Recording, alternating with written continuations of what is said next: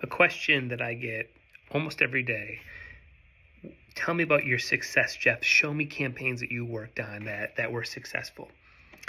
And I understand where that question comes from. And my response to that question more than likely sounds like I'm trying to beat around the bush or I'm not trying to give a direct answer. And here's what my answer is to that question What does it matter?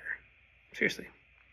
Every campaign I've worked on has had a hundred different variables, different CEOs, different verticals, different time of year, different marketing budgets, um, different brand authority. Like they actually had a brand, they didn't have a brand. Um, you know, was was it just trending? You know, in in just the time of life, right? Like there's so many variables. So when you're measuring what you do to somebody else, you will fail 100% of the time because that's not what to be measuring. And the analogy I give to people is I am the no different than a recording studio. And for some of you that know me, I used to own recording studios, and, and only recently have I really realized like I'm just doing the same business. So if you're a band and you go into a studio, you're using the same microphones, the same mixing gear, the same engineer might even be on it, the same producer, even the same PR person might be working on the project, right? Like the whole team that goes around getting a song to be a hit, right? Like that doesn't guarantee that your song's a hit song. It doesn't guarantee that it gets picked up into the you know the world and where people are like I love this song. It's so good, right? So in my world, I'm like a studio. I do the best practices, I write the best copy, I do the best that we can, but that doesn't mean that you're investable. It doesn't mean that people want your product. So, what you're hiring me for is to do the best that we can do.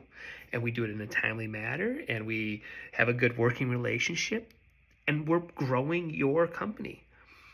So, it's very similar. So, that's now what I come back with when you ask me that question of show me your success. Why would I work with you? How much did you raise for that company? Well, you know, in my recording studio days, like I recorded Greta Van Fleet when they were in their when they were 14. Did I have anything to do with their success? No. I showed up and I recorded their music. That's all I did. You know? No different than I did for hundreds of other bands. Same gear, same room, same microphones, same ears, same talent, everything the same. I don't know why they got better than everybody else. So, yes, I write the same emails landing pages, flows, funnels. This one's investable, this one doesn't. I, I don't know why. It's how the world works. All right? Hey, everybody, hey, if you're thinking about running a campaign or you're looking for help with B2B, reach out to me. Go to preipohype.com right now, connect with me, reach out, go to one of my forms and fill it out, get on a call with me, and let's talk about what it looks like for you to be successful. Later.